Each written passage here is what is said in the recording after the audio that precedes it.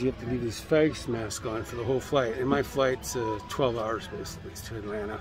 And then I have to have a two hour layover in Atlanta and then fly on to St. Louis, Missouri. And that's, you know, uh, yeah, face mask, face mask, face mask.